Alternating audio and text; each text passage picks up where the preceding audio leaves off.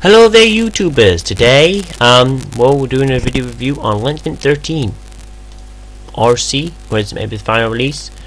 Oh, well I'm doing a review anyway. So Linux Mint 13, what's the improvements and what's not the improvements?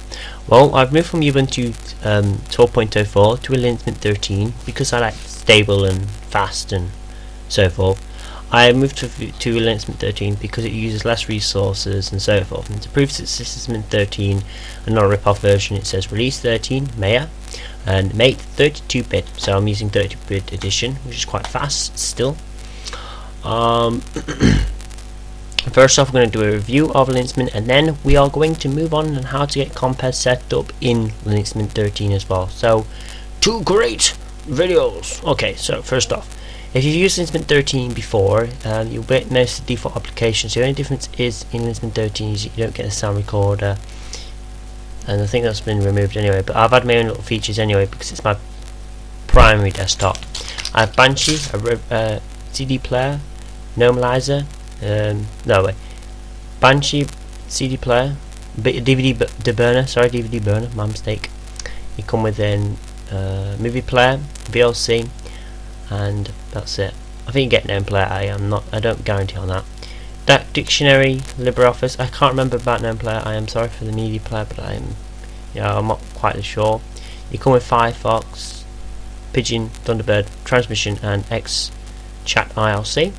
Graphics you get uh, Mate image viewer, GIMP, LibreOffice Draw, uh, Simple Scan and Thumb G Thumb accessories you get Achieve Manager, Calculator, you know all the basic stuff, Image Writer, Search File, Screen, well no you don't get screenlets actually because I've been taught myself, um, Take Shot, uh, Terminal, um, I, th I, think I don't know if you get Tomboy notes, don't get me wrong, I'm trying think, and um, Plumber, um, Text Editor.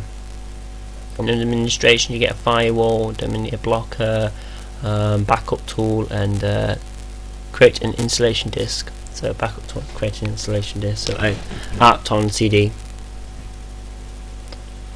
network login printer servers sharing files software manager synaptic patch manager system information time and date you know up to update managers using groups and wires drivers. Under preferences you get additional drivers appearances and most of the basic stuff you get on Instant anyway you know like Bluetooth and assistant technologies file manager you know Java and applications, keyboard, uh, menu. You get menu to say of menus, uh, network connections, another Java application, uh, save screen, um, Ubuntu. No, you don't get Ubuntu one. A welcome screen, Windows, startup application, sound.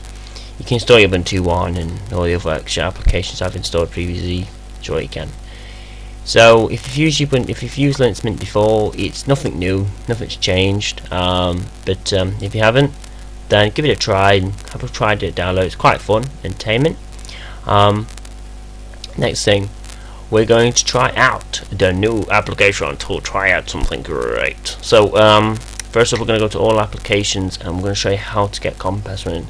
So make sure you've got Compiz manager installed. So Compiz uh, configuration manager, you'll need that as well you what else you have installed is a called a configuration editor which you will need as well.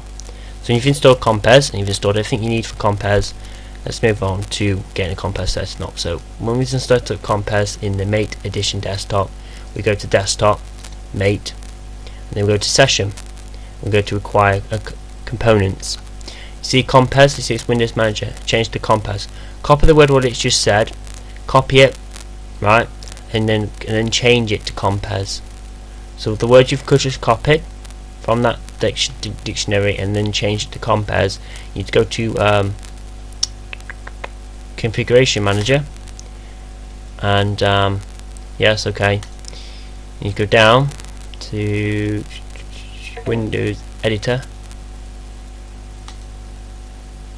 and then the word you've just copied, which is this word here, um, place it in here and then space type replace so dash dash replace like you're doing compiz dash dash replace just put that down and it should put your default theme up unless you want emerald you'll get emerald but um, I'll put a commandment because I want the default um, instant theme I just want a bit of nice little effects to it. So yeah. Um, a few issues with the Compiz with Linux Mint. Um, first off, uh, the right clicking does not work. So if anyone figures out features out, then that'll be good. I'll find a way to sort that out myself. Uh, and icons disappear as well sometimes. Um, sometimes they boot up, sometimes they don't.